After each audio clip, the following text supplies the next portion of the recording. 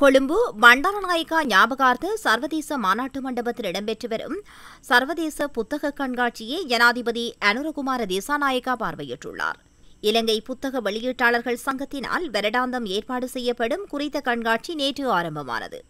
இலக்கிய மாதத்தையொட்டி இருபத்தி ஐந்தாவது தடவையாக கொழும்பு பண்டாரநாயக்கா சர்வதேச மாநாட்டு மண்டபத்தில் நடாத்தப்படும். கொழும்பு சர்வதேச புத்தக கண்காட்சியில் நானூறு கண்காட்சி கூடங்கள் அமைக்கப்பட்டுள்ளதுடன் புத்தக கண்காட்சிக்கு வருகை தந்திருந்த பொதுமக்களுடன் ஜனாதிபதி சிநேகிதபூர்வமாக கலந்துரையாடலில் ஈடுபட்டார். குறித்த கண்காட்சி எதிர்வரும் அக்டோபர் மாதம் ஆறாம் தேதி வரை நடைபெறும் என தெரிவிக்கப்படுகின்றது.